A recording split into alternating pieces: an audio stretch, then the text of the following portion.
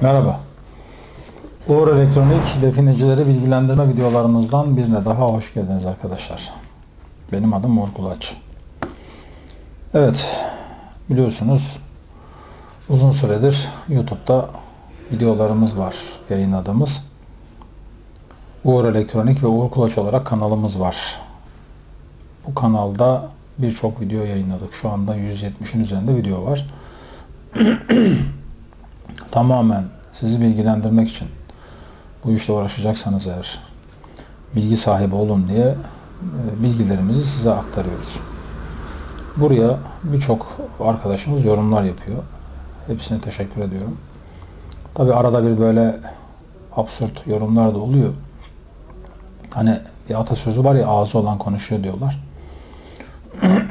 ağzı olan da konuşuyor. Ben kolay kolay kızmayan bir adamım.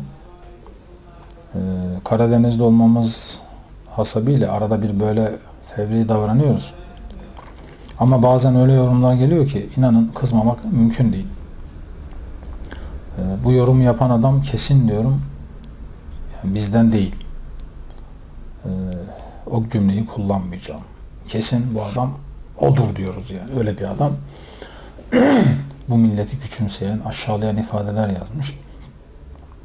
Sanki e, Türk milleti salak, aptalmış gibi. Biz cihaz yapamayız, üretemeyiz. Teknolojiden, bilimden uzağız gibi. İnanın şu anda ürettiğimiz cihazlarla alakalı söyleyeyim size. E, dünyadaki birçok firmayla firmayla yarışır durumdayız arkadaşlar. Algılama sistemlerinde özellikle çok güzel argelere sahibiz. Daha düne kadar ya bizimkiler yapamaz. İşte Alman'ın yaptığı daha güzeldir denen cihazlardan çok daha güzellerini yapıyoruz. Şu anda ürettiğimiz dedektörler dünyanın birçok ülkesine satılıyorlar. İnanın çok daha derinden metalleri görüp ayırt edebilen makineler bunlar. Ee, defin arıyorsanız dedektöre güvenin. Tabi dedektörler de kendi işlerinde işlevsel olarak ayrılıyorlar. Yani yüzey arama dediğimiz çok derine sinyal gönderemeyen cihazlar var ama e, derinden de algılama yapabilen dedektörler de var. Ha tek sıkıntı şu ayrım konusu. Ayrımda sıkıntı yaşıyor cihazlar. Bu sıkıntının sebebi de biraz da teknolojiyle alakalı. Tam anlamıyla mesela altın ayrımında dört dörtlük ayrım yaptıramıyoruz. Şöyle söyleyeyim size algılama mesafesinde yakalarsa altına cihazımız altın olarak ayırıyor. Ama onun algılama mesafesinin altına denk gelmişse metal e, onu altın olarak ayıramayabiliyor. Bunu zaten Türkiye'de sadece biz söylüyoruz. Diğer satıcıların birçoğu bunu söylemiyor bile. Hatta dövme demire altın diyebilir diyoruz. Yani çeliğe. Bunu da böylece bilin. Bir müşterimiz sormuştu çünkü. Tekrar söylüyoruz. Türkiye'deki ve dünyadaki tüm dedektörler dövme demire at nalına, küreye, kazmaya altın diyebilir. Dışarıda demez ama toprağın altında uzun süre kalmışsa ve onu zor algılıyorsa altın diyebilir. Rahat algılayabileceği bir mesafedeyse bu çelik, o zaman çelik diye bizim cihazlarımız ayırıyor. Diğer cihazlar ayıramıyor ama bizimkiler ayırıyor. Biz çift sinyal koyduk. Kıymetli altın sinyali geldiğinde onun teneke veya galvaniz, krom kaplı bir metal olduğunu anlayabilirsiniz. Evet şurada yanımda gördüğünüz cihaz Goldfinder. Bu cihaz bizim ürettiğimiz bir makine. Hep söylüyorum. Taklitlerinden lütfen sakınınız. A'sının, B'sinin, 5'inin, 3'üne çok bakmayınız. Onlar dandik. Sahte. Zaten o firmanın e, cihazları nerede yaptırdığını da açıklayacağız yakında size. Şu anda Türkiye'de üretim yapıyoruz diyen bazı firmaların aslında cihazlarını kimin ürettiğini, kimin yaptığını biliyoruz. Bunların hepsini size ifşa edeceğim tek tek. Hepsini anlatacağım. Uğur Elektronik imalatçı bir firma arkadaşlar. Tekrar söylüyorum size. Biz imalatçı bir firmayız. Kendi cihazlarımızı yapıyoruz.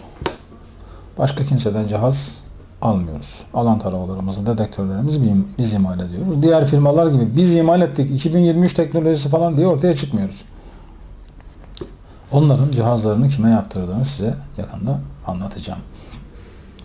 Bunu da bilin. Adamların daha imalatla ilgili belgeleri bile yok. İmalat e, belgeleri yok. Sanayi içi belgeleri yok. TSL'leri yok. Merdiven altı imalatı bunlar. Başkasından alıp biz imal ediyoruz diye satıyorlar. Lütfen bu insanlardan uzak durun. Çünkü yarın e, yedek parça sıkıntısı yaşayabilirsiniz. İmal eden firmayla e, sıkıntı yaşadıklarında bu sıkıntı o cihazı sattıkları insanlara yansıyacak. Tamir bakım hizmeti veremeyecekler. Parça hizmeti veremeyecekler demektir. Ama Uğur Elektronik 10 yıl önce sattığı cihazın şu anda bakımını yapabiliyor. Lütfen buna dikkat edin. Bizim YouTube kanalımızda bir soru sorulmuş bize. Rum Pontus Devleti ile ilgili bir şeyler söyler misiniz diye. Şöyle söyleyelim arkadaşlar. Rum Pontus Devleti şu anki Trabzon ilimiz sınırları içerisinde aslında kurulan bir devlet. Aslında Sinop'a kadar geldiği söyleniyor.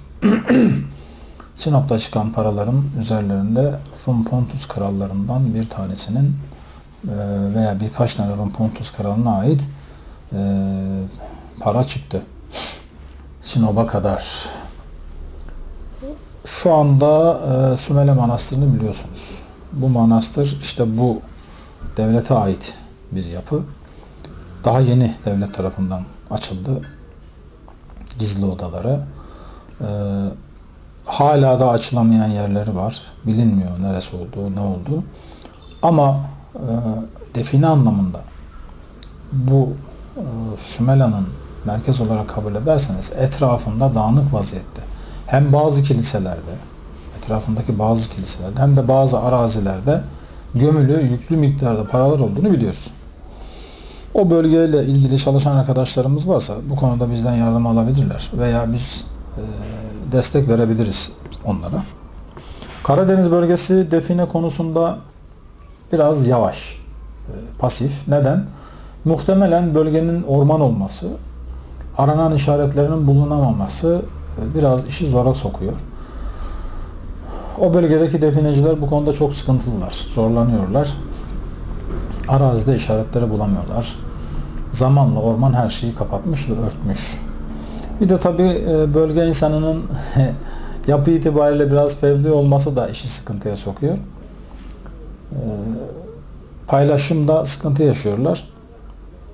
Gelen insanları yurt dışından buradaki paraların çıkarılması ile ilgili gelen insanları hep tersleyip göndermişler. Şimdi kendileri de bulamıyorlar. Rum Pontus devletinin bildiğimiz 7 tane kralı var. 12 tane olduğunu söylüyorlar ama 7 tane bildiğimiz kralı var. Ee, ben Karadeniz'de hiç tümülüs görmemiştim. Yalnız Trabzon'da bir tümülüse rastladım. Öyle söyleyeyim size. Ama Karadeniz'de define ciddi anlamda var. Özellikle Karadeniz'in yüksek bölgelerinde. Ee, biraz daha Sivas'a yakın olan bölgelerinde e, çok çok fazla define var. Karadeniz'de biliyorsunuz Ermeniler de Rumlar da yaşadılar. Meşhur Topal Osman'ımız var bizim Giresunlu. Ee, Ermenilerin yaşadığı yerler çoğunlukla yüksek yerler, yüksek köyler, yüksek bölgeler. Ee, çoğunlukla sahilde Rumlar yaşamış. Rumların özellikle evlerle alakalı bir videomuzda bahsetmiştik. Gömüleri var. Ve kendi evlerinin arazilerinde.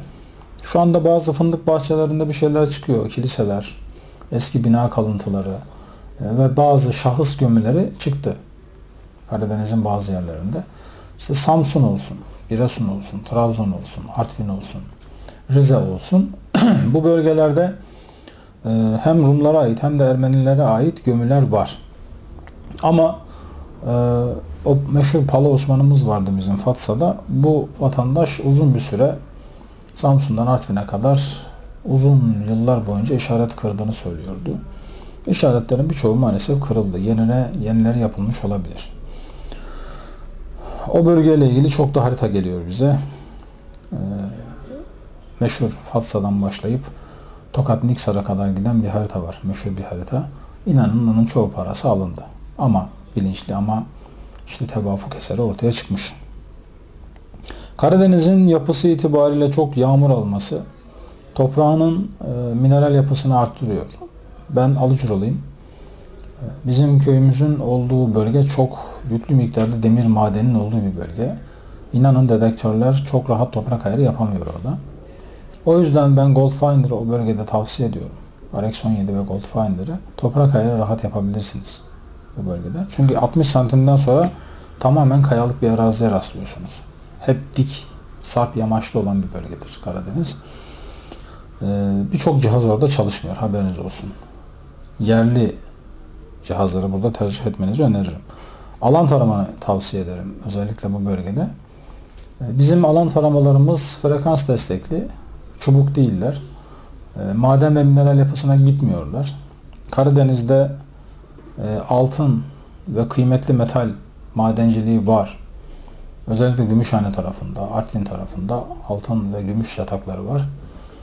Bakır sahaları var. Ee, cihazları yanıltan madenler bunlar. Tabi artık metalleşmiş olması gerekiyor ki cihaz yanılsın. Yani mikronize haldeyken hiçbir dedektör bu metalik madeni görmez. Ee, ama bazı yerlerde artık kütleleşmişler. Bir kütle oluşturmuşlar, bir araya gelmişler ve cihazları etkiliyorlar. Haberiniz olsun. Özellikle yağmur yağdıktan sonra bu bölgede bu tür cihazlarla çok fazla arama yapmayın. E, Toprağın biraz kurumasını bekleyin. O şekilde çalışın. Size tavsiyem bu. Evet arkadaşlar. Rum Pontus devletinin devlet olarak e, büyük paraları var gömülmüş. Karadeniz'in e, özellikle Trabzon merkezli dikkate aldığınız zaman bunları normal bir definecinin bulma şansı yok. Belli bariz işaretleri yok. Özellikle kayıt ve bilgiler var. Bunlarla ilgili. Dediğim gibi merkezi e, Sümele olarak kabul edin. E, Trabzon'da Gümüşhane sınırına yakın yine Rumların kurduğu çok büyük bir yerleşke var. Hmm, neydi onun adı? Şu anda hatırlayamıyorum. E, ben orayı ziyaret etmiştim. 7 tane köy var burada. E, Ahmet hatırlayabilecek miyiz onu ya? Hatırladığımız zaman söyleriz ama. Bir anda aklıma geldiği için şu anda hatırlayamadım. Trabzonlular bilirler bunu. Ee, Gümüşhane sınırında. Bak bakayım Ahmet bulabilecek misin? ismini? İsmini hatırlayamıyorum çünkü. He? Pontus devleti mi diyelim? Yok. Ee, Trabzon'daki neydi? Garip bir ismi var. Hatta o e, o köylere Osmanlı saldırılar düzenliyor. Teslim alamıyor. Demir madeninin çok fazla çıktığı bir bölgedir orası. Ve altın madeni de var. E, Kendileri teslim oluyorlar. Trabzon limanından Kıbrıs'a gönderiliyorlar. E, Kıbrıs'ta da hatta kendilerine bir yerleşim kuruyorlar. Onu şu anda hatırlayamadım ismini. İlginç, garip bir ismi var. Trabzonlular bilirler. Zaten yazarlar da bana şimdi yorumunda. Evet arkadaşlar Karadeniz bölgesi define konusunda zengin bir bölge. Size tavsiyem Ora elektronik cihazlarıyla orada arama yapın. Ee, Maden ve mineral yapısından etkilenmeyeceksiniz demektir. Bulduğunuz işaretleri lütfen bana gönderin. Özellikle evlerle alakalı, Karadeniz'de evlerle alakalı e, çalışma yapın. Birçok evde, Karadeniz'de eskiden kalan birçok evde para var. Alınmadılar. Haberiniz olsun. Evet 0216 310 95 77 0216 310 95 77 telefon numaramız 0530 181 94 71 0530 181 94 71 cep telefonumuz. İstediğiniz zaman bize bu numaralardan ulaşabilirsiniz. Hepinize tekrar tekrar teşekkür ediyorum arkadaşlar. Görüşmek üzere.